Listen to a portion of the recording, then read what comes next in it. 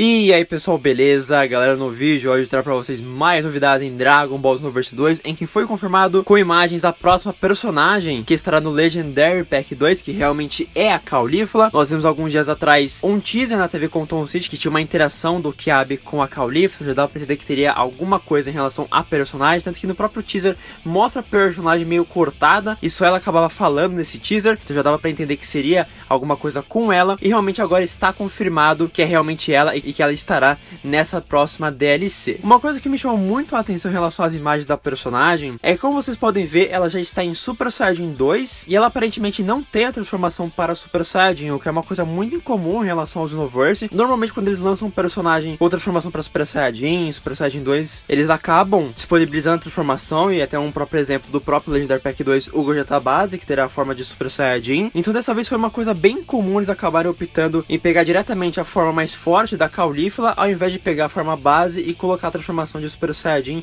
e Super Saiyajin 2. Nas imagens eles divulgam um Ultimate que a personagem terá e dois Super Ataques. O Ultimate foi chamado em inglês de Crush String, uma habilidade em que ela vai disparar duas Blasts vermelhas. De Super Ataques, nós temos o Crush Cannon, que é uma habilidade mais conhecida da personagem, em que ela dispara várias Blasts vermelhas em uma direção só. Alguns outros jogos de Dragon Ball já utilizaram essa habilidade, como Dokkan Battle e Legends. Esse ataque também é possível você segurar ele para deixar ele energizado e mais forte. E também nós temos uma outra habilidade que é chamada de Double Crush, em que ela vai disparar várias blasts vermelhas em direções diferentes. E esse super ataque em si me chamou um pouquinho a atenção porque é uma habilidade que me faz lembrar mais a Kefla do que a própria Caulifla. Não lembro da personagem realizar esse ataque, então me traz uma certa dúvida se essa habilidade é da Caulifla ou é só original da Kefla. De todo modo, eles pegaram alguma referência, outra só pra aumentar um pouquinho o moveset da personagem, que é uma coisa até que ok. Foi até uma coisa bem parecida que eles fizeram com o próprio Gogeta base. Apesar que no caso do Gogeta eles acabaram utilizando o próprio Ultimate do Gogeta Blue, que foi realmente um pouquinho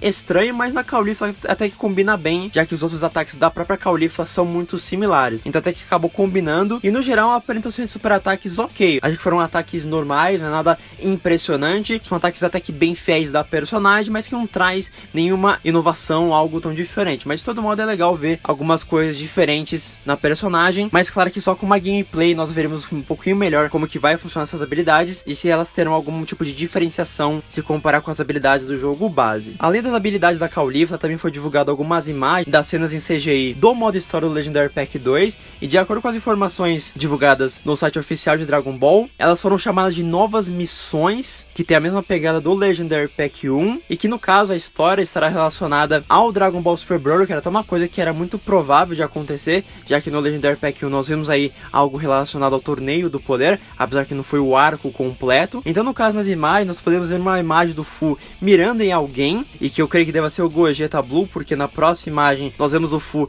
preparando um ataque logo atrás dele. E além disso, também nós vemos uma imagem da própria Caulifla, também no cenário de lava do combate entre Gogeta e Broly, já indicando que a Caulifla também estará presente nessa história, que tem uma coisa meio curiosa, mostrando uma das alterações temporais que o Fu estará realizando. Eu até achei que ficou interessante, porque ficaria legal uma interação entre a Caulifla e o Broly, já que como a Caulifla viu a transformação similar do Broly com a Kaylee, seria legal se eles fizessem algum tipo de interação dela lembrando ou algo do tipo. O que até me deixa um pouco mais curioso para saber em relação a essa história, só que também tá faltando um pouquinho em relação ao Jiren Full Power, que a gente não sabe aonde que ele vai se encaixar, mas até que tá ficando interessante em relação ao modo história. E por fim, eles também divulgaram um novo traje que estará disponível na DLC, que é o traje da própria Caulifla, com um traje completo juntamente da peruca da personagem, e que dessa vez esse traje estará disponível tanto para personagens femininas como personagens masculinos criados, e que como faz parte da própria DLC paga, provavelmente nós iremos desbloquear nas missões paralelas do Legendary Pack 2. No geral são informações bem interessantes, o que me chamou mais atenção foi realmente o modo história, que é o que eu tô mais curioso de da DLC como um todo,